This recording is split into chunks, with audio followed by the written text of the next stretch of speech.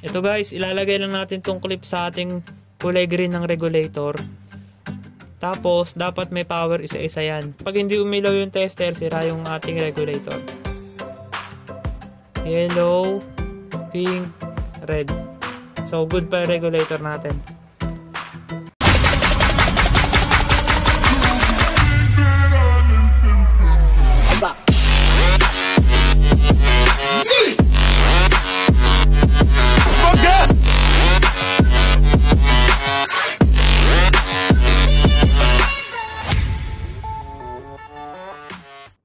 What's up mga boss amo? Welcome back dito sa aking YouTube channel. At ngayong araw, ang tutorial natin ay kung paano mag-test ng continuity ng ating regulator gamit lamang ang ating test light. Tama kayo mga boss. Malalaman natin kung may sira na yung regulator natin gamit lamang to. Pero, um, mas okay pa rin kung multimeter yung gagamitin natin. Pero ngayon, ang ipapakita ko muna sa inyo ay kung paano mag-test. Test light lang ang gagamitin. Kasi para sa mga iba na wala namang multimeter, dito lang guys, ito lang kailangan nyo. Malalaman nyo na kung ano yung, kung may sira yung regulator nyo, kung may putol.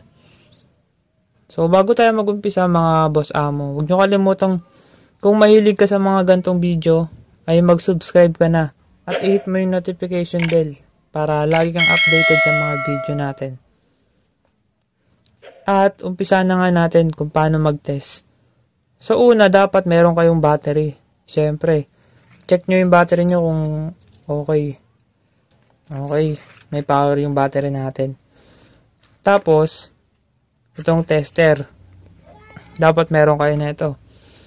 Ang pag-setup na ito, mga boss amo, bago tayo mag-start, ay yung isang clip ng ating tester ilalagay natin sa negative sa negative ng ating battery.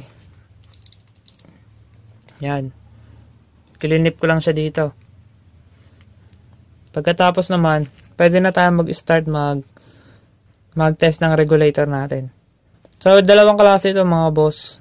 Isang yung 5 pin na may black, may black wire at yung isa naman na red white So, ang pinagkaiba lang naman nito, ito kasi guys, double output lang. Para to sa mga ibang motorsiklo na sa mga China. Ganito yung klaseng regulator nila. Ito, ito kasi mga boss, diretso lang ng headlight to. Samantalang itong isa namang regulator natin, yung black, yung black wire na ito, papunta ng accessories.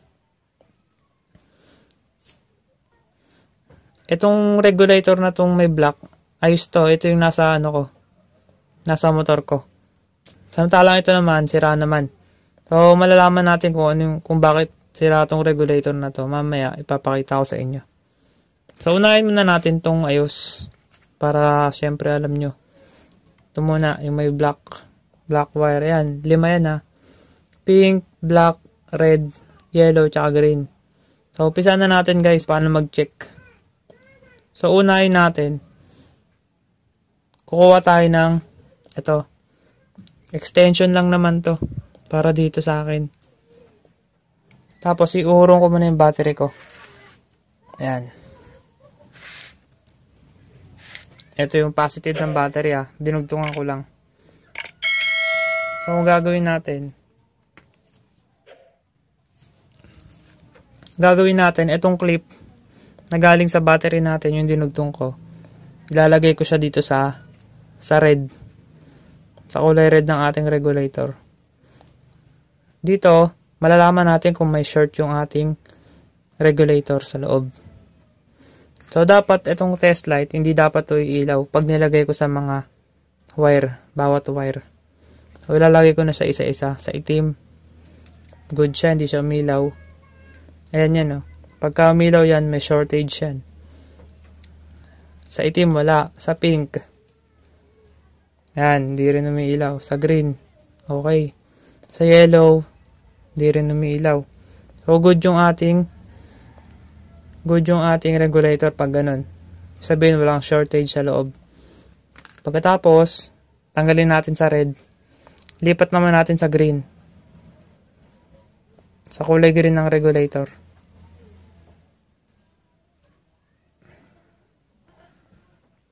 Tapos kunin natin yung tester natin. Ito naman, dito naman guys, sa kaso naman na to, dapat naman magkaka-power tong tester ko. Pero lang sa block. Hindi kasama yung block. Dapat walang power tong block. So, pag nagka-power to block, yung block nyo, sira. Etong yellow, red, tsaka pink, dapat may power yan pag tinester, pag tinester ko. Pag umilaw, ayos. Pag hindi umilaw, may putol. So, unahin natin sa pink. Umilaw sa pink. Ayos. Sa red naman.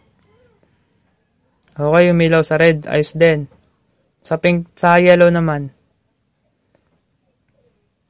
Okay. Good yung ating regulator pag ganun. So, next naman, tingnan naman natin continuity ng ating uh, light coil sa red.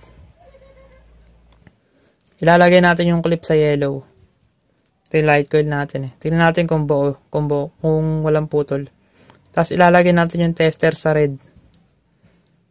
Ayan. Okay pa to guys. Ito lang dapat ang ilaw dyan, yung red ha. Itong pink dapat walang ilaw yan. Pag umilaw to, may short yan sa loob. Tapos, dito naman tayo sa charging. Ilalagay lang natin yung positive. Galing sa battery dito sa pink. Tapos, tutusukin natin tong kulay red. Ayan, dapat may ka-power yan. Pag di yan nagka-power, may putol sa loob. Itong yellow, dapat wala to. Pati green tsaka black. Red lang ang meron dapat. So, ganun lang mga boss sa pag-check na itong isang klase na to. Ayos tong regulator na to. Dito naman tayo sa kabila. Ito yung sira. Ito naman, pag-test naman nito, ilalagay lang din natin to sa red. Tapos, isa-isahin natin, dapat wala rin siyang wala rin siyang ma, ma ano na, lalabas na power. Oh, wala. Wala, wala, wala. Okay. Check naman natin dito sa ground. Ilalagay ko yung clip ko sa, sa green. Tapos, dapat to isa-isa may power.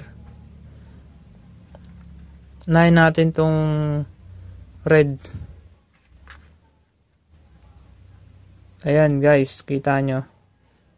Kita nyo siya. Mahina yung ilaw niya. Pag ganyan, grounded yan. So, tingnan pa natin iba. Itong pink. Ayan, malakas. Okay to. Itong yellow. Okay. Pero pag ganyan guys, sobrang lakas ng ano, dumadaloy. Pero pag ganyan, okay yan. Oh, itong isa. Ayan, kita nyo. Dito. Mahina yung ilaw niya. Ayan na, nakadikit na yan. Kumpara mo siya dito. Ito, yan. Parang yung ilaw niya, yung power na lumalabas sa kanya, ano, uh, hindi siya ganun kalakas. Malamang to mga boss, shortage sa loob to. Pag tinester mo ng multimeter to, may sira yan. Kasi dito pa lang makikita mo na yun. Tsaka tong kulay red. Kaya ito yung, kaya pinalitan tong regulator na to. Malamang to grounded yung regulator. Yan o. Hina yung ilaw. Pero pag dito, lakas. Pag dito, nakita mo, hina. Pigil na pigil yung kuryente. Malamang yan, grounded yan. So, check muna natin yung light. Light coil sa red. Ayan guys, kita nyo wala rin siyang ano. Nare-recta ko dito ah. Ilaw. Dapat pag nilagay natin sa red yung tester, iilaw din siya. Pero kita nyo wala. Di umiilaw. Eh, nilalagay ko. Ito sa pink naman. Lagay natin. Tapos tignan natin. Dapat ilaw tong red. Ayan, wala rin siyang ilaw mga boss. Malamang to, may sira na talaga to. Putol na talaga sa loob to.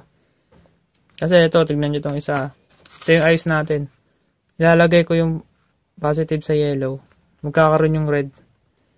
Ayan, dapat ganyan. Pati sa pink. Ganun lang mga ka-boss amo natin. Ganun lang mag-test ng regulator. Ah, ulitin ko lang ah. Continuity lang ang tinetest natin dito. Continuity, hindi yung resistance.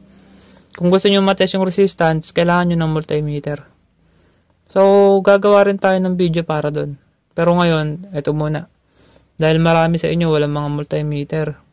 Tester lang ginagamit. So, ito guys, matutulungan ko kayo paano mag-test. Ah, malamang applicable to sa mga ano, naghihinala kayo na baka sira na, baka may putol na yung regulator nyo. O di na nagcha-charge. Malamang, ito ganito mangyari sa inyo. Yung nangyari dito, hindi nagkaka-power tong red. So, ganun lang mga boss amo. Yun lang yung maikling video natin tungkol dito sa regulator. Ah, kung nagustuhan nyo to mga boss, huwag nyo kalimutan mag-like at i-share yung video. Tapos follow nyo ako sa Facebook. Yun lang mga boss amo, kita-kits na lang sa next video. Thank you.